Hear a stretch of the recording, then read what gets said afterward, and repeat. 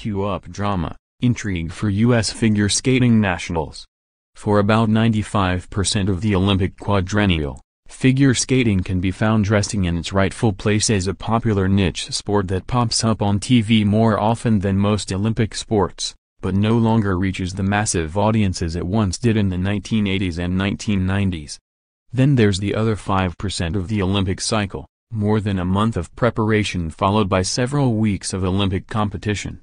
That time is now, the time when the sport draws a crowd and becomes its old self again, full of intrigue and drama and loaded with quadruple jumps and judging controversies. Olympic figure skating is back.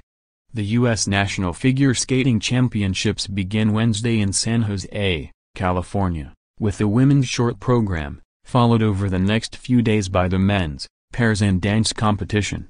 For decades, this competition has also been considered the U.S. Olympic trials for the sport, and, while it is true that the 2018 U.S. Olympic figure skaters will be announced after each event, it's crucial to know that their selection will not be based entirely, and perhaps hardly at all, on the competition you've just watched. There's no cheating going on here. This is a smart and necessary move by U.S. figure skating. The governing body's Olympic selection process has become much more like that of gymnastics, with good reason. More, Bill Daly says NHL in no rush to discuss Winter Olympic plans more. Sarah Hendrickson, Michael Glasder earn Olympic spots in ski jumping for the second Olympics in a row. There's a figure skating team event, with a coveted medal sitting there for the taking for the United States. It is likely to be one of just three medals American figure skaters will win in Pyeongchang, one in men's, 18-year-old Nathan Chen, the only undefeated male skater in the world this season, one in dance, always a strong event for the USA, and one in the team event.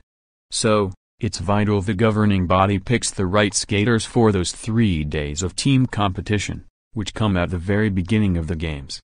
To field the best team of skaters for that event, strategy comes into play. Who's skating the short program? Who can handle the pressure of performing for a team, not just for themselves? Experienced skaters on the international stage who have performed well in annual international team events are coveted in this format. The newest, youngest, most delightful and surprising skater, who might charm us with a riveting skate in San Jose, might not be the best person to send to South Korea. USFS committees will pick the 2018 Olympians, and they will be armed with a long list of criteria about competitions past and present on which to base their decisions. I've read it all, and I'm happy to synthesize it for you now. The committees can do whatever they want.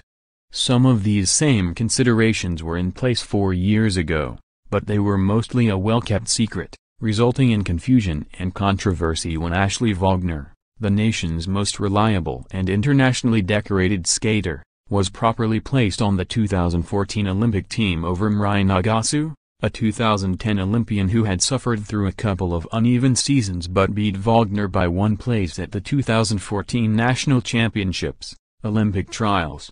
As luck would have it, Wagner and Nagasu are back again. At 26 and 24, respectively. They are wonderful anomalies, women in a little girl's sport.